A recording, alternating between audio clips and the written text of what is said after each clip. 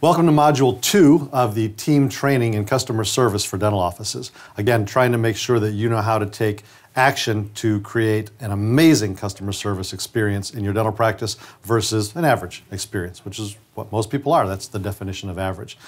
Part two, we're talking about first impressions. In other words, when people come to your office, how do you wow them? Because you don't get a second chance to make a first impression. And that's really what people are going to judge you on. Most of your referrals from your client base come after a new patient's first visit. Did you know that? Statistically speaking, existing patients will tell someone about their experiences with you if they are asked, but new patients who are wowed will share that information immediately. That's where more than half of your customer uh, referrals come from is from brand new patients. So let's get into it.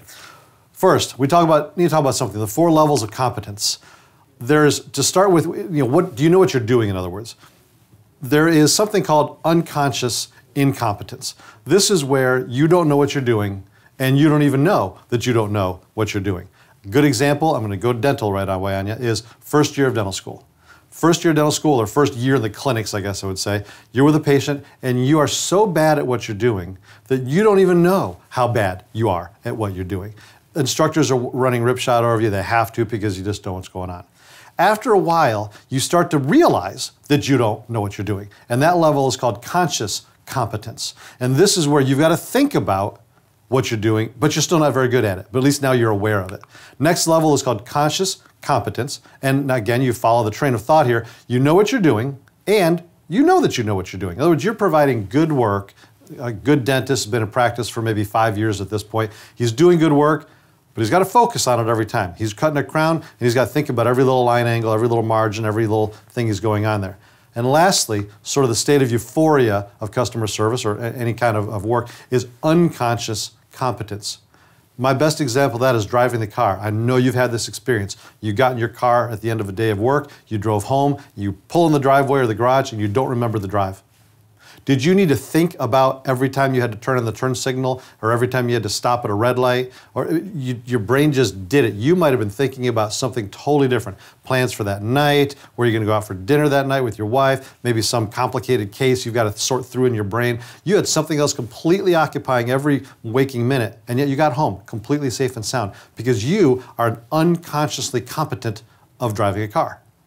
But can you apply that to other things in your life? Can you become unconsciously competent at customer service, at providing dentistry in your, in your office? You probably can. Let's talk about how we're going to help some of that to happen. Until you are competent, you fake it till you make it. That's as simple as it gets. You need to pretend that you know what you're doing, even if you don't, if you want to convince people. So if you're a young dentist, first out, or, or whatever, you know, if someone outside of dentistry is watching this video, whatever your role is, can you fake it so that other people believe in you? I'm going to tell you a story about our favorite Mexican restaurant that just, I've told this story many times to many audiences. If you've heard it, bear with me. But it makes the point of, of fake it till you make it better than anything I could ever explain to you.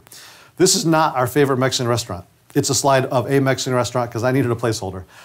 So my, my, uh, my wife and I, I think one of my kids who was a teenager at the time, and a couple of my team members from my dental office all decided to go out for lunch one afternoon. It was the middle of a work day. It wasn't the whole group. It was just, hey, who wants to go to lunch? A couple people came. So we sit down.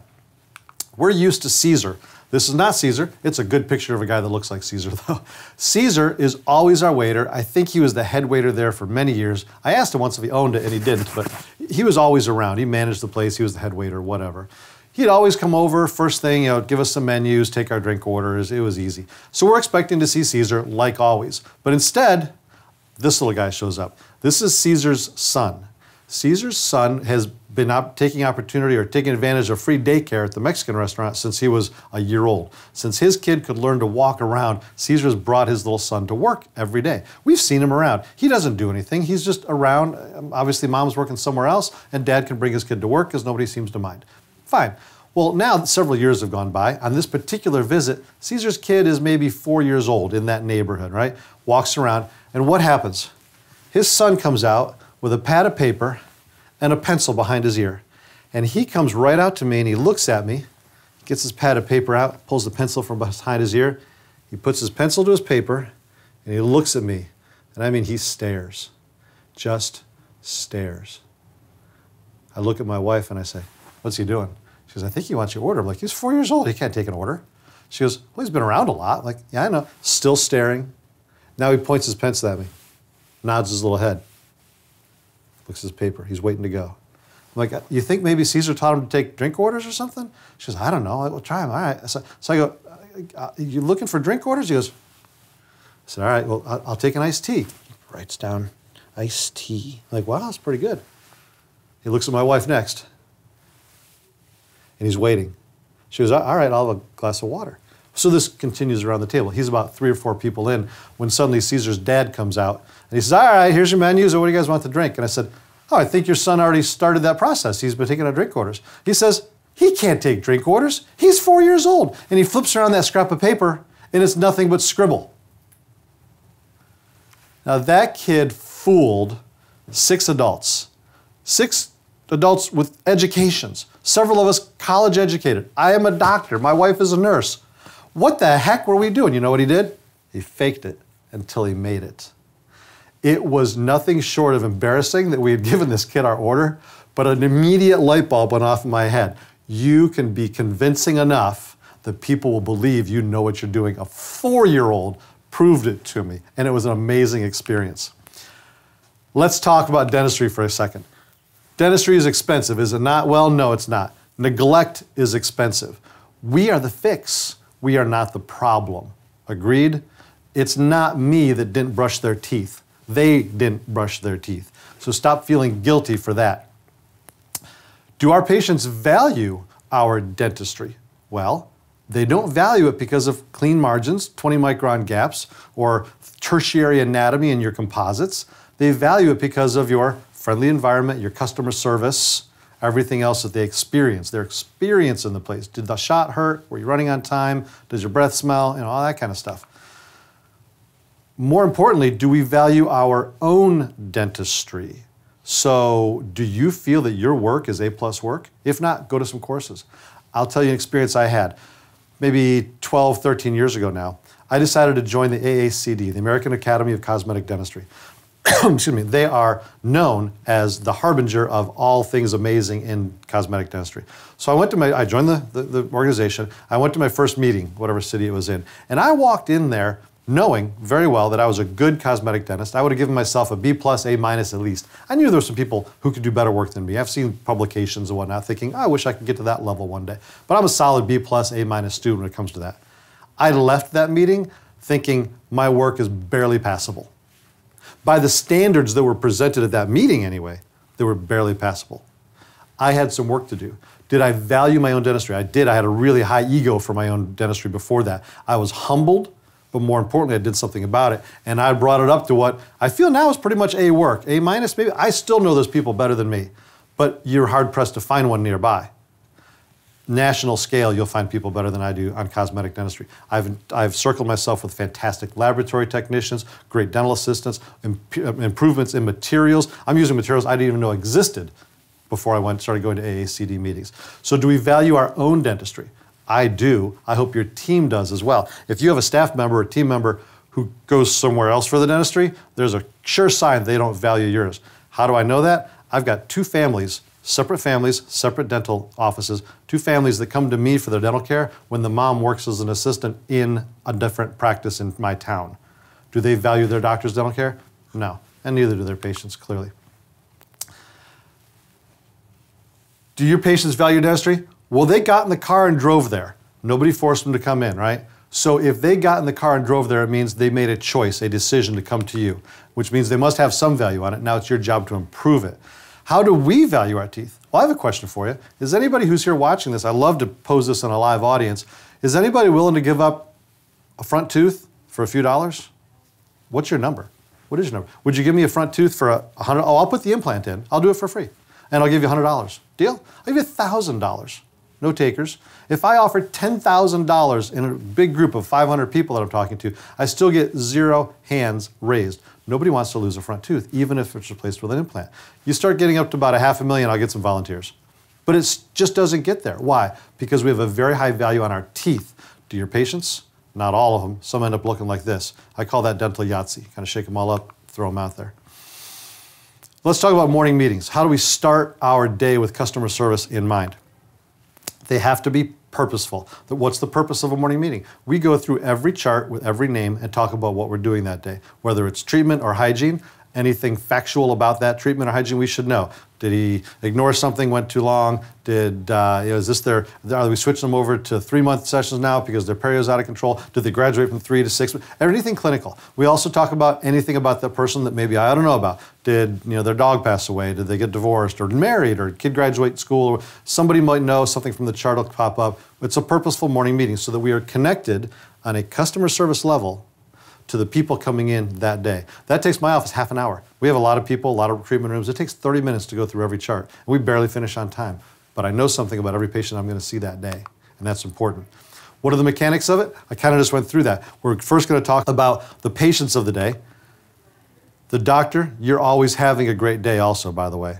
When you come to work in the morning, smiles on. I don't care what happened to you last night or this morning or overnight or what nightmares you had or who you had a fight with this morning or what you tripped over or what you stepped on that was sharp like a Lego block. Experience talking there. When you get to the office, you are having a great day. Right? We review the schedule in its entirety, like I just said. We always book out some emergency time, usually right at 2 o'clock in the afternoon, because if we don't get an emergency, then we have a little bit longer lunch. Yay. Talk about what we can fill in there. Now we look at the charts for more opportunities to do more dental work.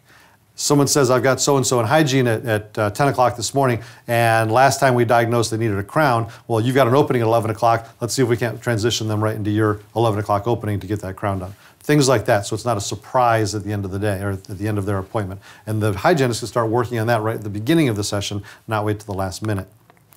Then we talk about patient news. Again, did somebody graduate, get married, divorced, whatever the case may be. So we can kind of connect on an interpersonal basis.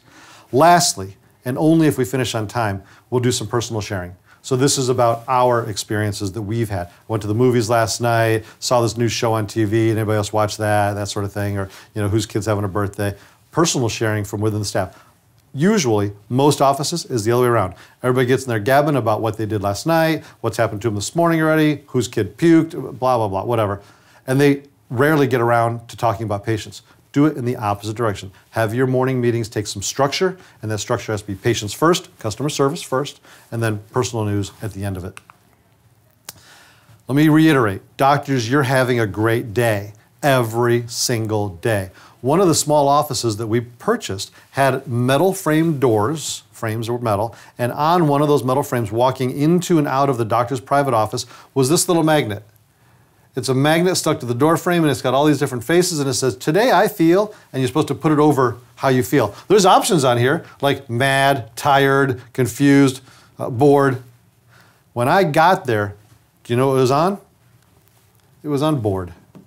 I took over a failing practice from a bored doctor. I guarantee you that if he didn't act bored, he wouldn't have a failing practice. But he did. He, he closed up shop, declared bankruptcy, and went to work for another dentist and I'm sure he was bored there too, but maybe some systems helped him. My point is, it has to be none of these other ones. If you walk in and you feel tired, I don't care. You put that sticker on happy. We got rid of the thing. I cut all the other faces out and I left just the frame and the happy face. I left it up there until we finally sold that practice. You're not allowed to have any other emotion other than happy, excited, glad to be here. And that's you need to show up every day, leave every day, and emulate that thought all throughout the entire day. That's how a morning meeting starts happy. First impressions, remember that's what this whole global thing is about. So let's talk about the first appointment. Now I know there's a lot of dental practice speakers out there who talk about how the first appointment is going to run. I will tell you, this is a conglomeration of the best. For years and years, I've been going to all the seminars that some of you have gone to as well, all the way back to, to uh, Cathy Jameson and Linda Miles and you know all, all the, the big names about how to do the first appointment. What happens first, second, third, and all that. Let's go through that right now. Some of this might be review for some of you, but I guarantee you're going to get some new stuff. And if you apply it, you'll find it is way better on the customer service front. It's what our patients are hoping to get. They just don't know how to ask. You never get a second chance to make a first impression. There's your first impression. Ha, sorry, dental humor. First impression never dies. I've got one of these photos back in my album of uh, my high school years, and I'm sure other people do too. I know my wife had a chance to see it once. I didn't know her in high school, or even not until dental school. But uh, she still talks about that damn photo. It, that was like a first impression photo she saw at my mom and dad's house when she went through albums, photo albums. Like, oh my gosh, look at you. She still remembers. That impression stayed with her forever. those puffy shirts and oh my God. So, how about these? What is your first impression with your parent with your patients? What's your appearance? How's your breath? Are you late or running on time? Do you have any bad manners? Do you have a bad attitude? Are any of those even thoughts in your patient's mind? They better not. If you came in and put your little square on the tired or grumpy guy, then maybe they're going to see the, the bad attitude, the being late. All, you can't afford that. You've got to make a great first impression. There's that sound. It happens once in a while. It's just to make sure you're awake, I guess. What happens first? I told you earlier that consult room is used on the, on the first video. That consult room is used as a living room. Come on in. Here's my patient, my hygienist, myself, and we're going to sit and talk. What's my usual first question? Well, first I say, hello, I'm Tim Johnston. I never say doctor, they know. I'm Tim Johnston, and I just say, how can I help you? And I sit down in the chair. And I can see sometimes the tension just fall off their shoulders. They just relax. Often they say, oh, this is nice. We can just talk? I said, that's what I'm here for. Tell me. Admittedly, many, maybe even most of the time, it's simply, I'm here for checkup and cleaning kind of it. So then I start looking for ways to connect. Oh, I see you moved. Where'd you move from? Oh, we moved from upstate New York. No kidding, I'm from upstate New York. It's where I grew up. Or I moved from the West Coast. Oh, I was born in California. Or my parents were in the Navy. Oh, my dad was in the Navy. Whatever it may be, I'm looking for a connection so that all of a sudden we can become pals, friends, on the same level, on some level, on the same level, so that we are connected. The other times, maybe that 20% of the time, when it's not simply I'm here for cleaning and a checkup, they will tell me why they're there. And that's an important thing to listen to. Well, I went to this one dentist. He told me this. I didn't believe him. He had bad manners and bad breath. I went to another guy. He told me I needed 16 crowns, and I said, that can't be. They were all healthy six months ago. They're going to have a story that is impactful on how you need to behave for the rest of your appointment. It gives me a clue into their psyche. If they're laying back in the chair the first time I meet them, and the hygienist says, I took a full mouth series of x rays, here's John Doe, have a look I don't know anything about him. I've got to know something. One of the mentors in my life, I think it might have been Dawson or somebody, said, never treat a stranger, which is great advice. Get to him. Even if it's just five minutes to get to know him. You'll know more about him in five minutes than you do in zero minutes. So never treat a perfect stranger. You want to get to know him a little bit. The consult room dialogue. Did I hit all that? Let's see. Um, oh, let's talk about this. If the doctor is not available, let's say I'm in surgery and I cannot get out, I'm knuckle deep in blood, my hygienist will go in there and do it herself. Not a problem. I'm okay with that. I want to be there.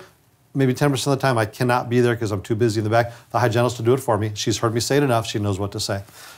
Always put a good spin on this appointment. I have to do this every single time because patients that have come from somewhere else are used to going to their dentist for 45 minutes to an hour tops to get their teeth cleaned. Our first appointment is going to be an hour and a half. So I say to them, listen, I know that you're used to going to your dentist and things can just kind of run and you're, you're out of there in no time. I said, but keep in mind, this is our first visit with you, so I feel that we should get to know your mouth intimately. I want to know everything there is to know. I want to know where the fillings are, cavities, any kind of uh, abrasions or lesions, anything going on with your gums. We're looking at oral cancer, checking for periodontal disease. You know, I just repeated myself, looking at gums, periodontal. You can use all the words associated with it. it makes it a lot more in, involved. It makes it sound like you're looking for more. But just say all the words you want to say there, but what you're looking at, and say, so that takes us a little bit longer. So your first appointment will be closer to an hour and a half. I just wanted to make sure you knew that.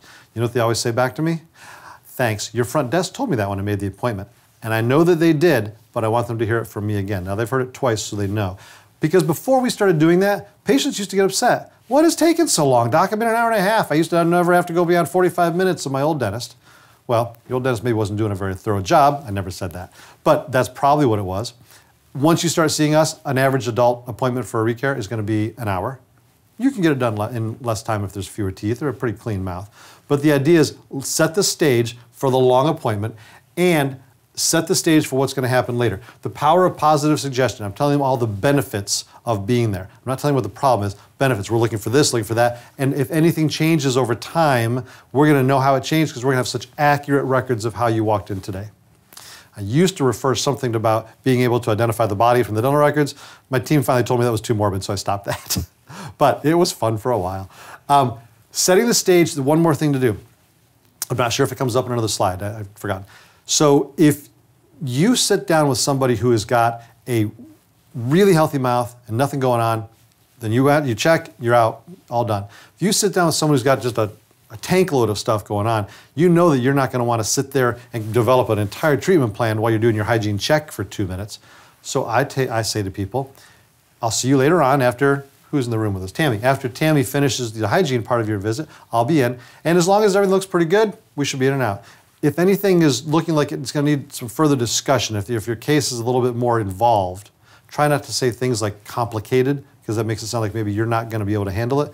Involved is a good word. More involved. I may ask your permission to kind of take my notes and x rays and, and photographs and just sit down tonight after work and work up treatment plans so I don't hold you up today. Again, selling benefits, so I don't hold you up today. Does that sound fair?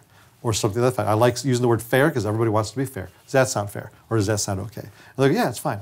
I'll pull on that later in the appointment and pull it later in this, in this slide presentation as well. Consult room dialogue. Again, establish rapport. Where you're from? What you've been up to? Your kids are in college. Where do they go? Establish that rapport. How can I help you? And then sit there. I want them to know that they're in the right place and that I'm glad they came in. That's a subcategory of how can I help you? How can I help you? Because we're using the word help. I'm glad you're here. I'm going to help you with whatever dental issues you have. Needs versus wants. You've got to be really careful about what you call a need and a want. And I tell people this because they'll come in and say, "Yeah, I went to a new dentist last, you know, six months ago. He told me I need 16 crowns." I said, "Did he say you needed them or they wanted to do them?" Because those are two different things. And I tell people, I'm very particular about my use of vocabulary.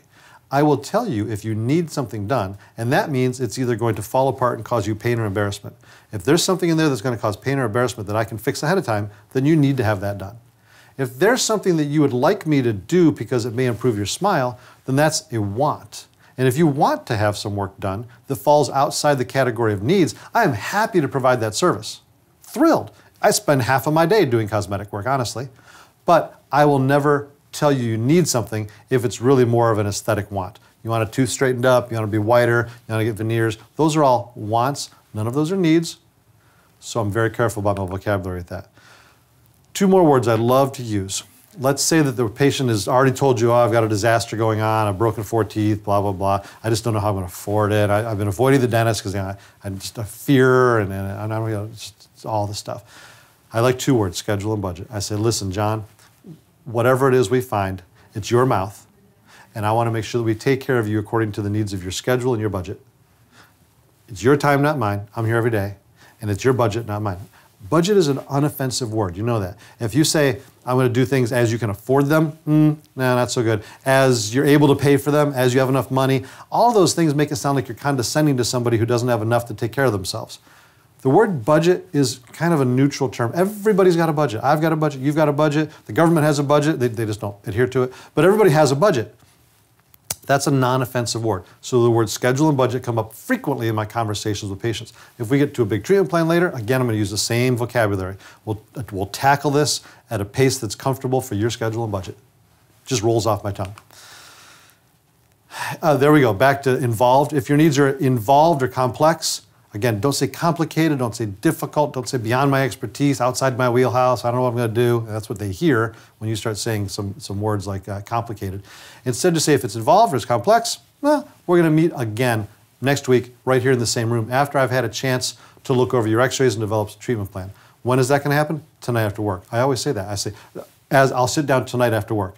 Whether or not I'm going to, it doesn't matter. I want them to know that they are a priority to me. I'm going to work on their stuff tonight after work. Now, if they actually take me up on that schedule for tomorrow, I better actually finish my job tonight. Otherwise, I'll do it during lunch tomorrow or at a convenient time. Then they're going to go in the back. First appointment still. A complete exam, and I do mean complete. My hygienists utilize a hygiene assistant when they're doing their charting so we can maintain clean environment, and everything is recorded, every single thing. You know what I'm talking about. Only the necessary x-rays, meaning a full mouth series and Panorex, or whatever you're able to provide for them. I know sometimes there's insurance limitations. People say, I only want the necessary x rays. Got it. I'm going to take all the ones I can because if I miss something, it's because I didn't take the one necessary to find that thing. Let's show patients what they have with intraoral cameras. This is a huge bonus to dentistry. It's been around just since right after I started practicing. I maybe was in practice for two years when the first intraoral cameras came out, all the analog stuff. I've never practiced a day without them since. You put this up on the screen, you know patient's are going to ask first thing? Is that my tooth? Yes, it's your tooth, but it's surprising that that's what they say because who else's tooth would I put up on the screen? We just took a picture, I put it on the screen, and they go, Is that my tooth? And they'll ask you if, if it's bad. Is that bad? They'll see things. I have a really nice intraoral camera. I use that for uh, AACD cases, for taking pictures for the website, things that where I really want to show detail. But most of our stuff is done with those uh, I don't have it up, is done with those simple intraoral cameras on the wall. That's a few hundred dollars. I know they sell $6,000 ones, but you can get that from a company on the internet, on Amazon, uh, called, um, I'll think of it later. I'll make sure it's included with whatever you're watching this on. Anyway, they, um, it's bothered me, I can't think of it. A few hundred dollars, and you can get all the great pictures you need. Close ups like that. They came off of that camera. Take some pictures, intraoral, extraoral, etc. So you've got a record of how they started. That can become important legally, or it can just become important for your own diagnostics. You're going to sit down after work and start working up a case. I'd like to have a, a picture. It'll jog my memory. Oh yeah, that's what I saw in that mouth. We're going to use a diagnodent for those really small crevices, and we're going to make sure that we record those. In my office, 20 to 30 is the gray zone. We're thinking about it. Below 20, you're healthy. Above 30, you're getting a filling. 20 to 30, we're going to write that number down and monitor that over the next few sessions. If it starts to grow and gets above 30, we're going to put a filling in that. If you're not using a diagnodent in your office, they were really popular 15, 20 years ago.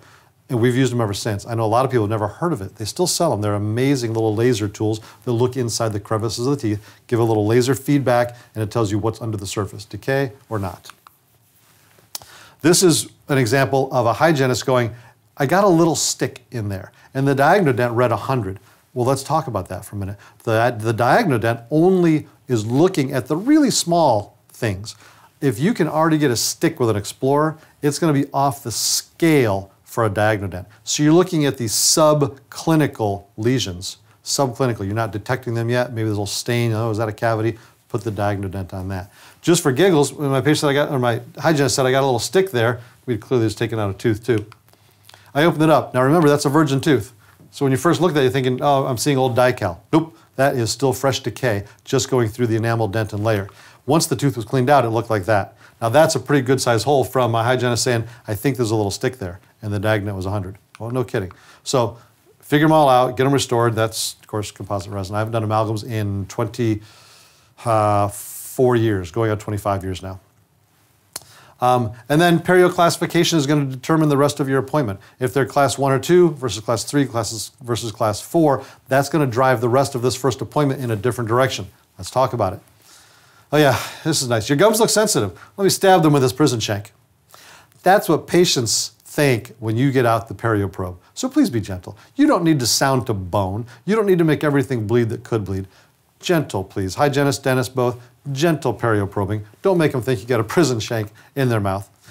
All right, so phase one, if you are if your patient is healthy or has a little mild gingivitis, you're going to go through these steps: a light scale, a prophy, a fluoride, and a little general education, dental education, how to take better care of your mouth, flossing instructions, something like that.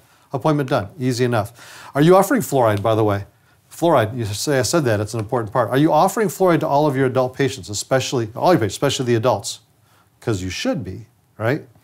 We know as dentists that the cavity prone years are no longer teenage years, or what was that? The old one was like 8 to 15, that was the big cavity prone years.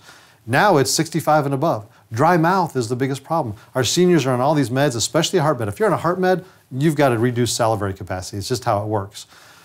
Anybody taking anything or just old age is drying up salivary glands, they are so much more at risk for, gut, for both gum disease and cavities, but especially cavities that you've got to do something to combat it. I tell my patients, listen, you're getting older, your saliva is slowing down. They go, oh, I know, I have dry mouth all the time. Like, did you know that's the number one way to get fresh cavities is by having a dry mouth? The number one way to combat that is with fluoride application. So you should be sure, of course, you're using a fluoride toothpaste, I hope, and there's a few that aren't. Some of those natural products don't have it in there. So you're using a fluoride toothpaste, make sure you're using fluoride mouth rinse. And when you do those, you're using a concentration of either 500 parts per million for toothpaste or 1250 parts per million for mouthwash. What we give you has a concentration of 20,000 parts per million of fluoride. And that gets into the pores of your teeth and strengthens it. It's fantastic. Don't tell me it's your drinking water has fluoride. That's one part per million. That's not going to do the trick for you. That's for when you're growing teeth as a baby you need topical application of fluoride. So how many of our adult patients get fluoride? As many as we can convince they should have it, which in my practice is probably about 90%, 85, 90%. I think I have some stats on that coming up. What about, oh, here we go, strength of fluoride. Tap water, zero to four parts per million. Ideal is 1.0. I happen to be very fortunate and live in a community that is already naturally fluoridated at about 0.7 to 0.9, depending on which, uh, which aquifer or which well they're, they're bringing it up out of. Um, so we don't see a lot of, of um, early caries in, in my community, Williamsburg, Virginia.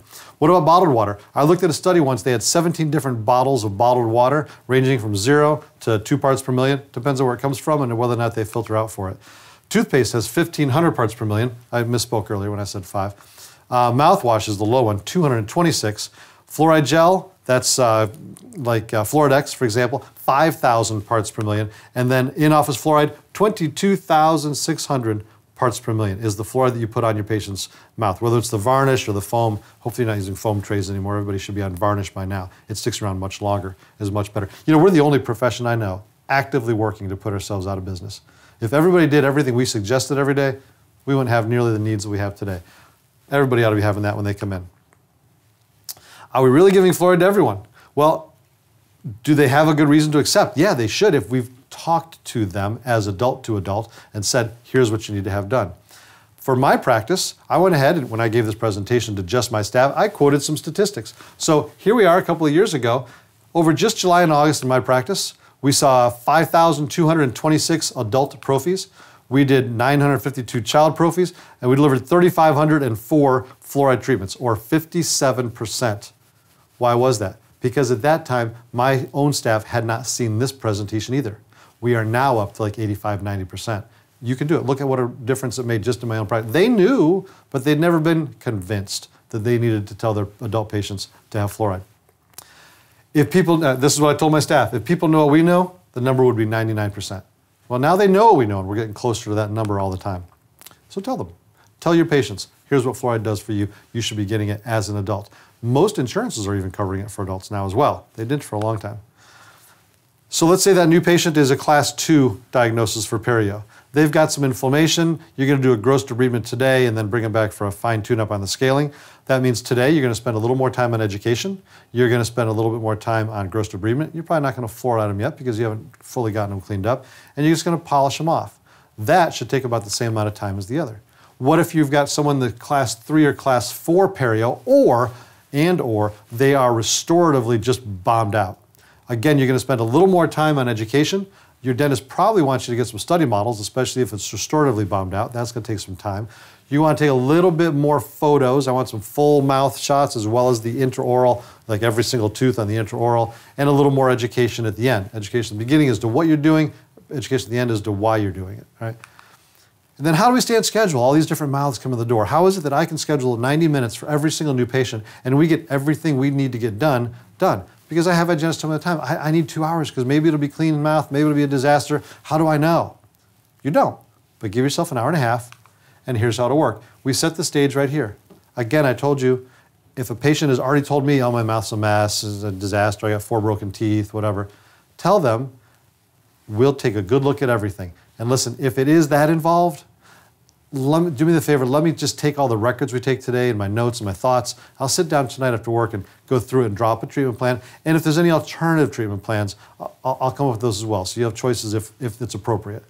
That sound okay? Does that sound fair? And they say, yeah, fine. So now I'm going to pull back that conversation and say, well, sure enough, John, your mouth's kind of a train wreck, just like you said. Listen, I'm not going to sit here and try to come up with a treatment plan just off the cuff. That wouldn't be fair to either of us. So let me sit down tonight with your records can you come back in later, you know, this week or next week, and we'll just sit up there in the consult room again, my living room, we'll get a cup of coffee, and we'll talk about your treatment. Does that sound all right?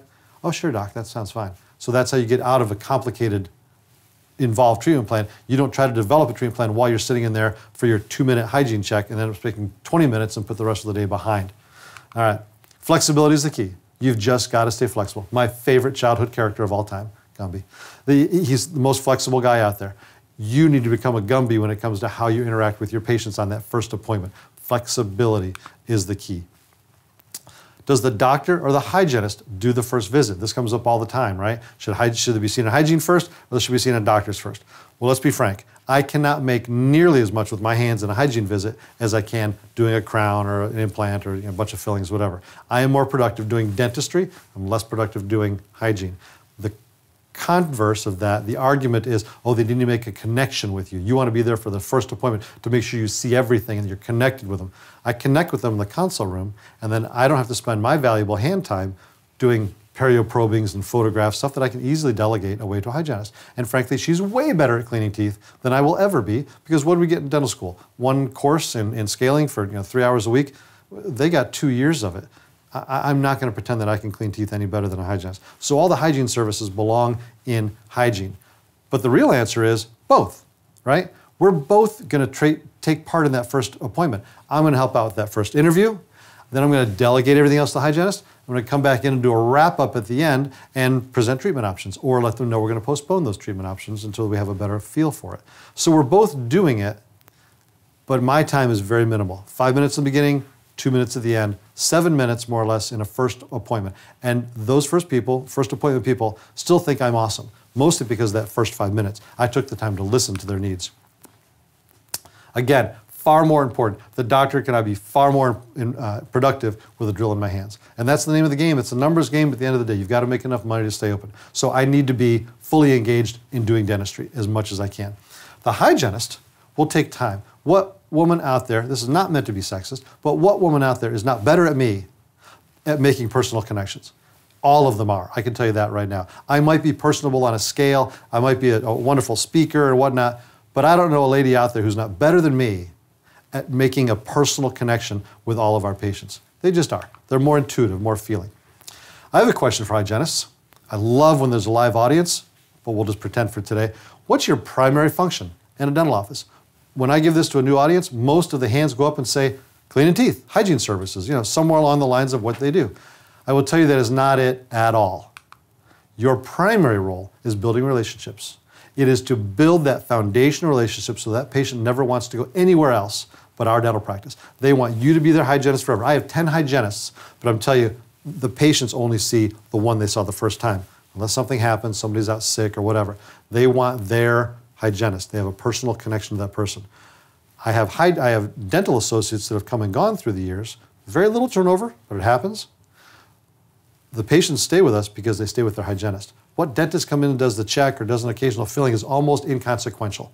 Different story if it's a rehab, you work in everything. But for the occasional stuff, patients just don't even care. They want their hygienist because you've built that relationship. That's goal one. Job one is to build relationships in your dental practice. What's your secondary function? Now we can go to hygiene services. and still not there. Secondary function is to identify treatment needs. I don't mean you're diagnosing. I know in every state in the country you're not allowed to diagnose, but you can identify treatment needs.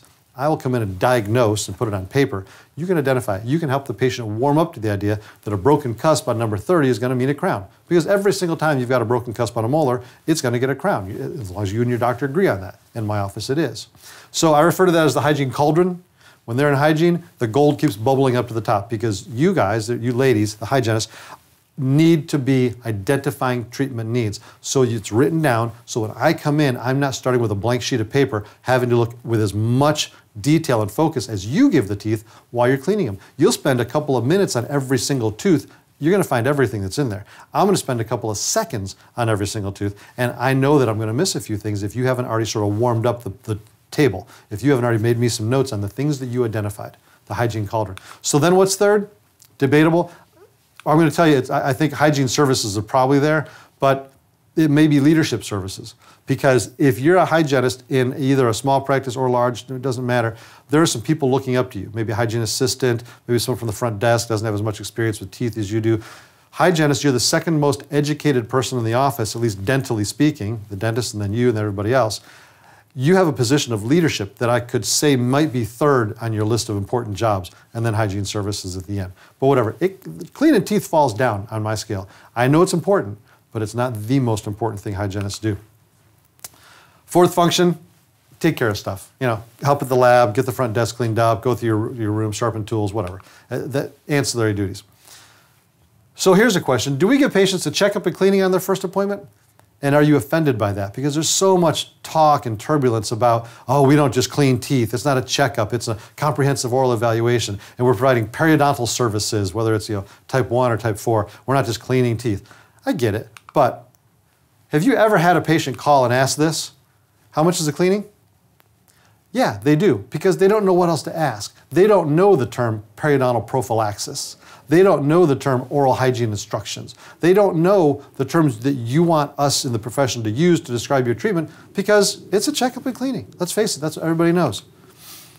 Or the other question they ask, how much is a crown? Why? Because they went to their dentist and he said, you need a crown and it's going to be $1,200 and that's sticker shock. And they're going to call around, how much is the crown? What do they mean to say on each of these? Are you taking new patients? Are you taking new patients? That's what they're calling to ask. They picked up the phone and called the office. So don't be offended by someone who says, How much is the cleaning? or be offended when I say, You need a checkup and a cleaning, and that's what they're here for. It's the vernacular of the populace. Don't try to convert the entire United States of America's population to use your terminology. Why don't you just join the bandwagon and use the terminology they're already using so that we can communicate appropriately? Again, why do they ask these questions? What are they expecting? What are you expecting them to ask? They're going to ask the vernacular they know. Have you ever had somebody call the office and ask this? Hello, I'd like to schedule a comprehensive exam, full mouth series of x rays, and mounted diagnostic casts, and then perhaps a consultation with the dentist to discuss having a professional oral prophylaxis and fluoride treatment.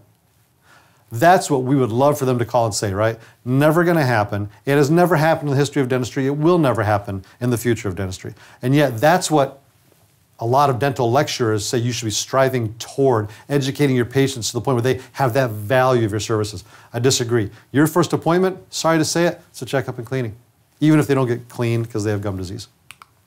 All right. How do we manage our time if we don't know what kind of mouth is walking in the door? This goes back to what I was talking about earlier. It's going to work out based on what we're doing. I like this. Let's allow 80. 90 minutes now since we've introduced oral cancer screenings and more photos and all that. We used to allow 80. I'm doing 90 now. That's my uh, uh, Jose Cuervo guy or whatever it was, the Dos Equis guy, right? I don't always brush my teeth, rinse with mouthwash, floss, and brush again. But when I do, it's 25 minutes before my dentist appointment. It's so true, right? You have twice a year flossers in your practice. They floss right before they come to see you and think that they're going to fool you. Oh, do you floss? Yes. When? Oh, half an hour ago. Last night. You know, last two days, whatever. I had a guy one time said, I floss for a week before I come, so I'll fool you. I'm like, you're not fooling me. I'm just letting you do what you want to do. It's, it's your mouth, Pigpen. So 80 minutes. If it's a healthy mouth, the first five minutes is going to be meet and greet with me. Then minutes 6 through 40 is going to be data collection, x-rays, charting, periodontal exam. Minutes 41 through 45 are going to be summarize and educate. Then you're going to clean from 46 to 80, give them their fluoride. And then I, the last 10 minutes really is my time. I come in and spend my two, three minutes doing my exam. 90 minutes, check clean, and they're out. What if it's type 2? Again, 1 through 5 minutes, meet and greet. We're going to spend about the same amount of time collecting data because on a mild periodontal case, it doesn't take any more time to collect. You're still going to probe all six points on every single tooth. 41 to 50, summarize and educate. We're spending a little bit more time here, 10 minutes instead of five, summarizing and educating so that they understand what periodontal disease is. Then we're going to prov provide a gross debridement because you're going to bring it back for polishing, a gross debridement, and then 10 more minutes at the end of that for the doctor to come in and summarize. Perio type 3 and 4, again, five minutes to meet and greet. This is where you're going to find out this person has a lot of needs.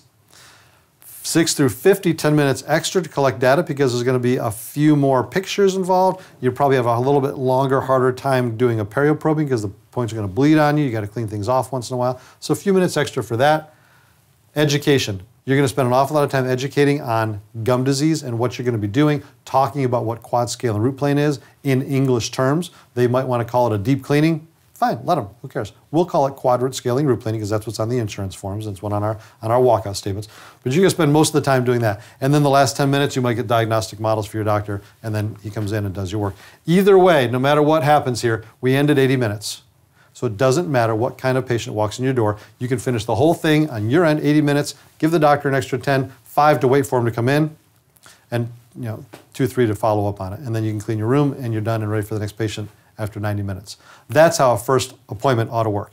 That's the end of Module 2. I hope you've enjoyed that, and I look forward to questions.